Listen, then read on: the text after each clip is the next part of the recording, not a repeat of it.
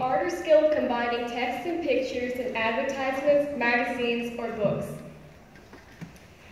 Graphic design has always been a major interest of mine, and until a few months ago was only that.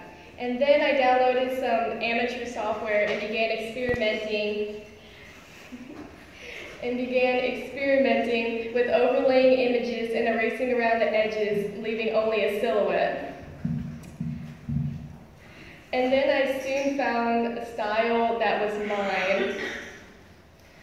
Overlaying images to create uniquely textured backgrounds and placing a female figure within them. And as I went on, this became more significant for me. The backgrounds representing beauty and the figure representing confidence and beauty and confidence became me. Now, if you've ever seen a style like mine, I assure you it is purely a because everything that you see is of my imagination. And although I say that, I never go in with a thought of really what I want. I see an image that is beautiful, and I think of how I can possibly make it more beautiful.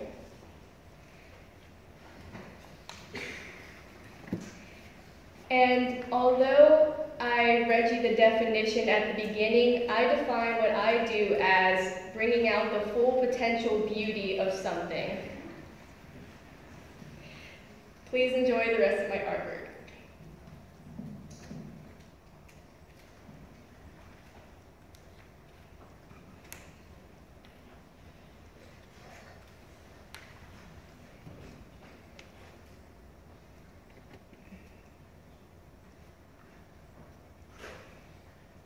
Thank you.